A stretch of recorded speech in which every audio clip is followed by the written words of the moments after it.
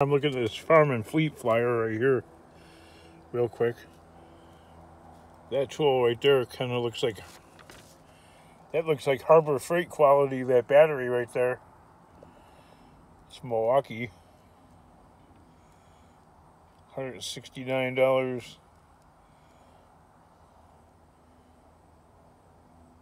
Thirty-nine bucks for a DeWalt battery. That's not too bad.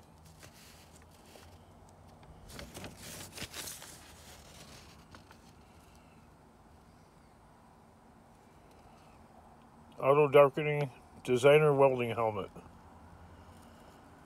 That's not too bad. I didn't know Fleet carries, uh, that's how uninformed I am. They carry Craftsman. So that means I can bring my broken Craftsman ratchet back to uh, Fleet.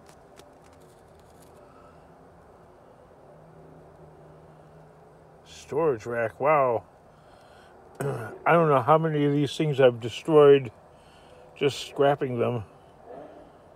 And they're $249. That's pretty dumb of me. $700. Eh. That's not too bad for a garage door opener. Adjustable stool.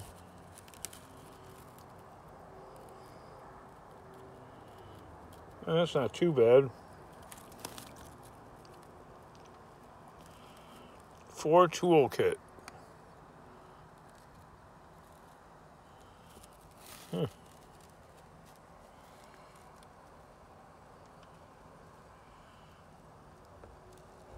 That's not really that bad.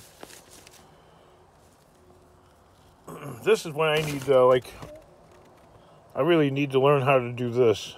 I need to get myself a welder and uh, try my hand at welding.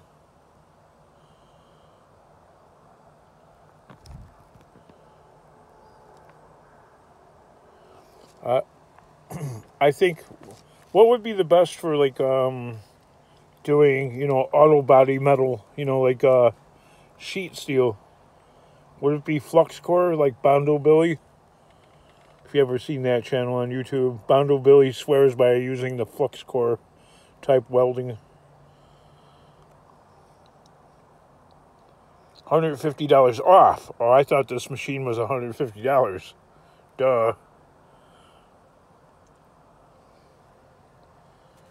Wonder how much it really is then. Oh. $1,100.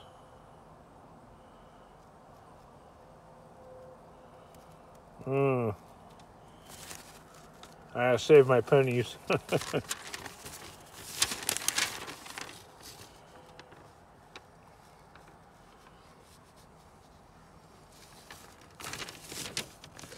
yeah. That's not too bad for the Mobil Delvac.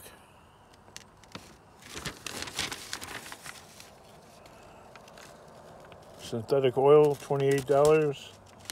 You get that cheaper at Walmart. You. All right, kids. We shall chat.